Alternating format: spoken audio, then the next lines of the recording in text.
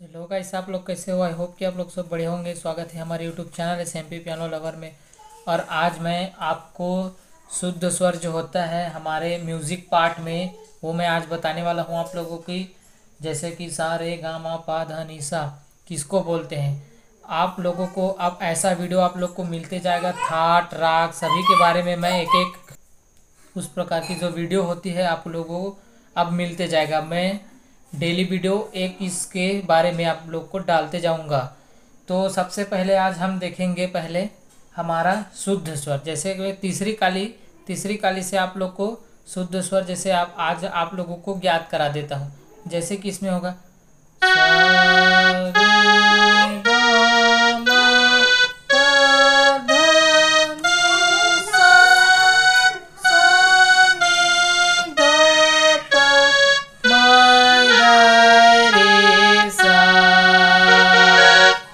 इतने सारे हमारे शुद्ध स्वर होंगे?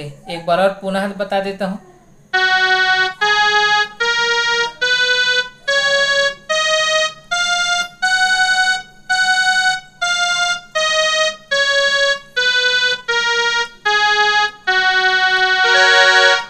अगर आप लोगों को उंगली में प्रेस्टिक करना है तो आप लोगों को बता देता हूँ, ये हैंड प्रेस्टिक आपको यही शुद्ध स्वर बजाना है।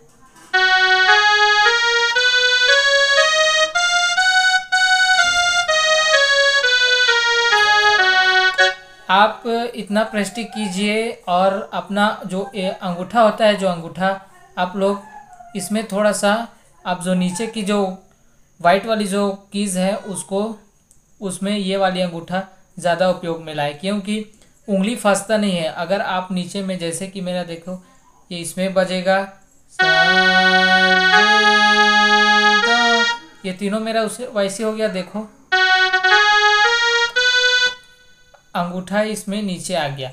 तो इस प्रकार आपका उंगली फंसेगा नहीं। अगर आप इस हैंड में अगर ये वाली लो, लोगे तो इसमें हैंड फंसेगा, जैसे दिखाता हूँ। इसमें आप लोगों को हैंड प्रेस्टिक नहीं होगा। ये तो बजा लोगे। अदरवाइज़ अगर कुछ गाना प्ले करोगे तो आपको दिक्कत ही आएगी। इसलिए अब जो अंगूठा है, आप लोग हमेशा सफ़ेद वाले कीज़ में ही ज़्यादा उपयोग करें। चलो आई होप कि ये वीडियो आप लोग को पसंद आए और पसंद आए तो एक लाइक, सब्सक्राइब ज़रूर करें। अगर आपको और कौन सा टॉपिक में वीडियो चाहिए, मुझे कमेंट में ज़रूर बताएँ। जय हिंद।